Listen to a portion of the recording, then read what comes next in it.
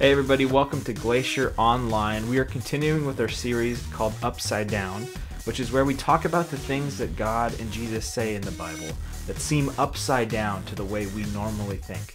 But they're really describing God's actual plan for humanity, and we kind of get it wrong as humans. So the upside down plan of God is actually right side up, and our way of thinking is actually upside down. So uh, that's what we're talking about. But before we get started in that, we are going to get a silly video going. So here we go.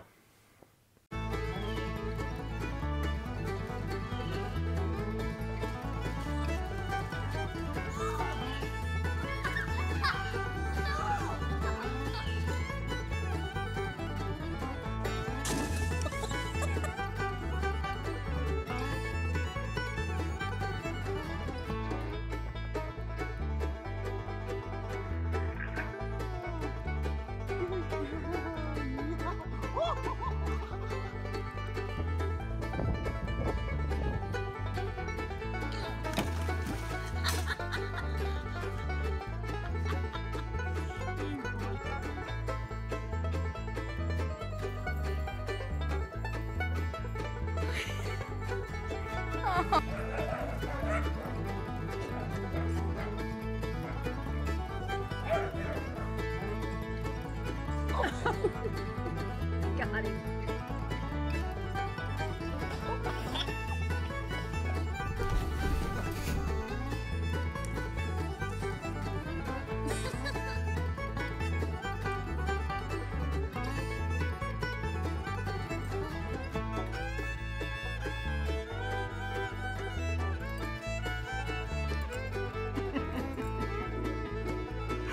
All right, everybody. So the game you can try today is called the Cotton Ball Toss, and you're only going to need two items to play this game. You're going to need cotton balls and three cups. Uh, so you set your cups on a table. Uh, you're going to put one close to you and probably about you know three feet away from you, and then you do space out a foot, put another one, space out a foot, and put another one. Um, and so those will be your targets. And from one end of the table, you're going to toss your cotton balls. You'll have a bowl of cotton balls. Um, and if you get it into the land in the first cup, that's five points. If you get to land in the middle cup, it's 10. And in the farthest cup, if you get it to land there, it's 15. So you'll throw your cotton balls and tally up your score, and then somebody else can try and each side just try to see who gets the best score. So that is the cotton ball toss. It's pretty simple, but it's fun. I hope you guys enjoy. Next up is a Bible video. It's a retelling of the Sermon on the Mount, which is a very famous sermon that Jesus gave. And in this part of the sermon, he's talking about treasures and where we focus our heart, where we focus our heart. And so um, he has a little bit of an upside down view. We kind of think here on earth uh, that we really need to value all the stuff we have money, food, provisions because we need to survive and we want to be comfortable and we want to be entertained.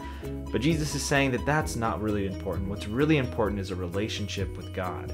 He says that we should put our, our treasures in heaven.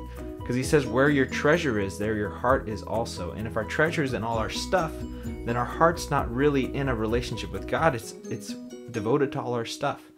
And so what Jesus is really saying in this passage, as you watch the video, I want you to think about this. He's saying it's really important to have a relationship with God because that is what lasts. We can't take all of our stuff with us to heaven, but we can take our relationship with God with us to heaven. It will continue. And so we need to focus on what really matters, a relationship with God. And it's not doesn't mean that we have to renounce all the stuff we have. You have to go sell everything and you that doesn't that's not what God's saying, but he's saying our focus should be on a relationship with God because God can show us exactly what we need to do. He knows the way, the truth and the life, and he will lead us there. He can provide for us. If we focus on a relationship with God, God will direct us through this life. And we don't have to focus on all the stuff. So that's what this video is about. I hope you guys can think about that as you watch it and then check out the reflection questions and we will see you guys next week. One day, Jesus was speaking to thousands of people Hey, Jesus! when someone asked him about money. He told them a story and tried to explain to the people that our treasure is not on earth, but in heaven. Then he turned to one of his disciples and said, That is why I tell you not to worry about everyday life, whether you have enough food to eat or enough clothes to wear.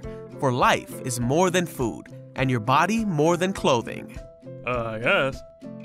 Look at the ravens. They don't plant or harvest or store food in barns because God feeds them. and you are far more valuable to God than any birds. Uh, yeah, I think so. Do you think that by worrying about anything, you can add a single moment to your life? And if worry can't do a little thing like that, what's the use of worrying over bigger things? A good point.